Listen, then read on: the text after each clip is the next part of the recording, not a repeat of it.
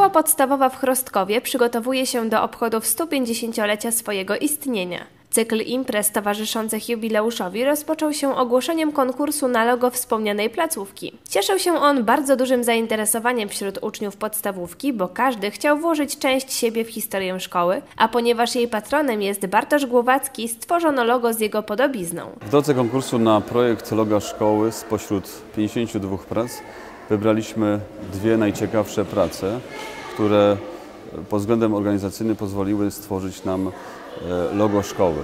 Dwie prace, które wygrały, była to praca Agaty Barwińskiej i Adama Michalskiego.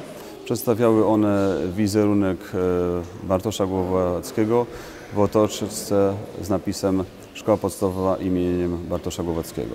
Odsłonięcie nowego logo odbyło się już 3 marca. Miesiąc później, 4 kwietnia, w szkole wspomniano postać Bartosza Głowackiego podczas uroczystego święta szkoły.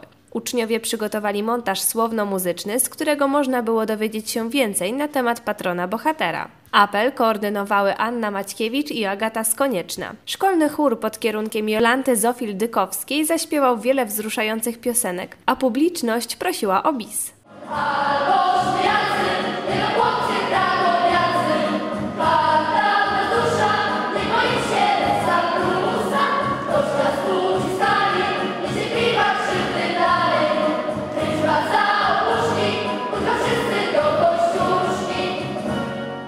Podniosłą atmosferę tego dnia podkreśliła również słodka niespodzianka, po której uczniowie udali się do domów.